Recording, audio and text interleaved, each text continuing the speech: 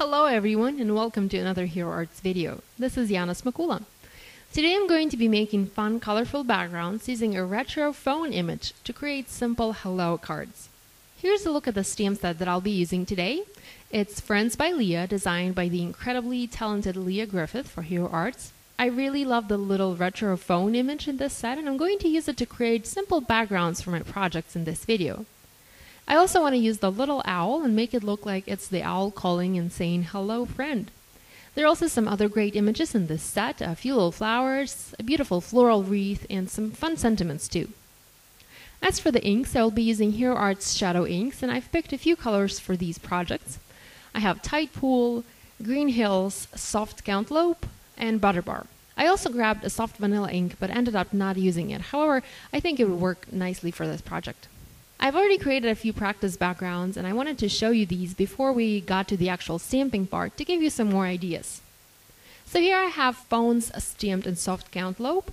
I only stamped uh, those partially and you can add a sentiment on top of that panel or trim it down and use it on a smaller card like I did on, on, this, on this card here.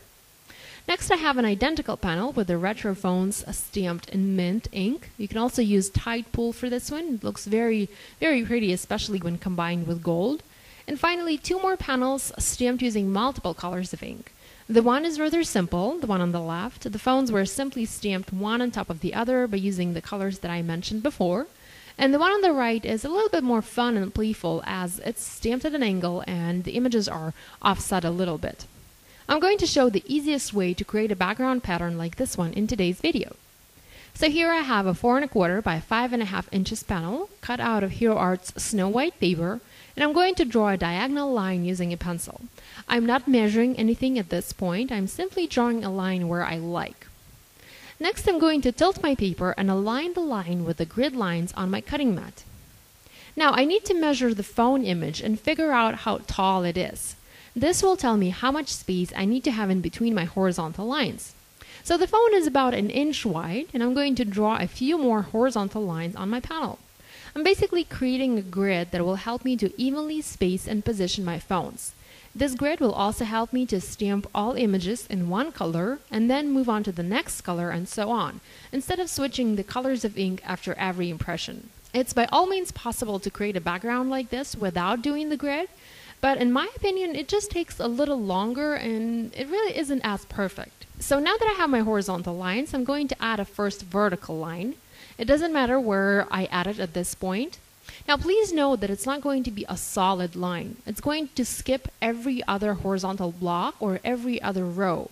Just like so, I'm adding a vertical line connecting the first and the second horizontal lines, then skipping the second and the third, connecting third and fourth, skipping fourth and fifth, connecting fifth and sixth, and skipping sixth and seventh. I'll explain why in a moment.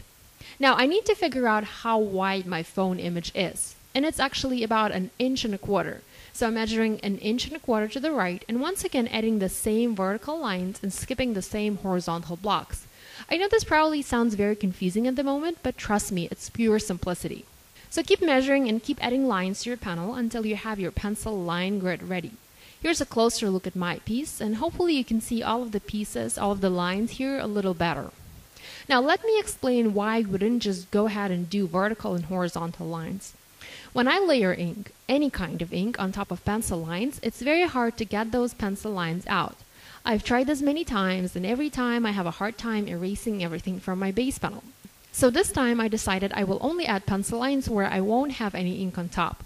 My horizontal lines separate the horizontal blocks or rows of phones, and my vertical lines indicate how to position those phones and how to offset them. Now you can totally skip this grid part if you don't mind cleaning your stamp after every impression. To create a background like this and to know where to stamp a next image, you either need to have a grid like I do here or stamp images one by one one next to each other. And if you want to have a multicolored background, you will need to clean your stamp if you do not have a grid. So that will take longer in my opinion. I'm going to work a little differently on my background because I now have a grid. I can stamp several phones in one color. Basically, I'm stamping one phone in one color in one line or in one row. I have four colors and about four images will fit in one row, so I need one color for each row. Pretty simple. If there is a vertical line in the row that I'm stamping in, I will stamp right next to it. If there isn't a vertical line in the row that I'm stamping it, but there are vertical lines in the row above and below, I will use the grid lines of my clear block and will stamp my phone so that the pencil lines would have passed through the center of my phone. The pencil line would have passed through the center of my phone. You can also have solid pencil lines on your grid and simply erase uh, parts of them as you are stamping to have the same result. But then again, I think that would just take a little longer. I've zoomed in a little and hopefully you are now able to see my grid and my stamping a little better and understand what I'm doing here. Because I have this grid, I'm stamping all of the images in one color at once and I'm able to work a little faster. After my first color, Tide Pool, has been stamped, I cleaned my image and moved on to the second color, the green hills. Just like I did the first time, I'm going to stamp one green phone in each row following my grid. Then again, clean my stamp and move on to the next color and keep stamping one phone in each row. And finally, I'm filling in the gaps using the last color, the soft cantaloupe, for this background. I personally love to create backgrounds like this. I do love large background stamps and I use them often, but there's just something about being able to make a custom background yourself, especially when I can use multiple colors of ink for my stamping. So here's a look at the background that I just finished and the one that I showed you before. I can now go ahead and erase the pencil lines and finish making my card. Here I have a panel that measures 4 by 6.5 inches that is cut out of vellum. I'm going to use my anti-static powder pouch to prep the surface for heat embossing. I will be stamping Hello Friend and embossing this sentiment using gold embossing powder from Hero Arts. I want to do double-sided embossing on this piece. I love doing this on vellum. I have a sentiment heat embossed on one side and will heat emboss a floral wreath on the other side of vellum. This looks especially fun when done in two different colors, colors of embossing powder. For example, sentiment is embossed in gold and wreath is embossed in white, is embossed in white. By heat embossing two different images on two sides of vellum, I'm able to keep edges of both images sharp and defined, and embossing powder from one image doesn't melt into the other one. I'm not going to use any adhesive to attach my vellum to my card. I'm going to score it, score my vellum, and that's why my panel was actually six and a half inches long. So I'm going to score a half of an inch on both sides and will fold my vellum panel over the stamped background and will have it attached that way.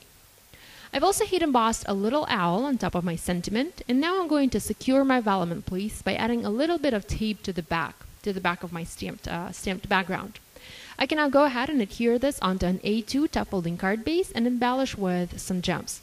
You can by all means adhere vellum to your stamped panel. There are special kinds of adhesive that will allow you to do this, but I didn't want to use any adhesive so I folded my vellum instead. So here's a look at all three cards that I created using my stamped backgrounds. The first one with a large vellum panel. Love the look of the muted stamped background here and the heat embossed wreath on the back of my vellum. The next one is a smaller landscape card with a heat embossed hello. There's a lot of dimension here. And finally, the last one with the mint phones and some more heat embossing. I hope you enjoyed watching this video. If you have any questions, please leave them in the comment section on YouTube or Hero Arts blog. Thank you so much for watching. I'll see you next time. Bye.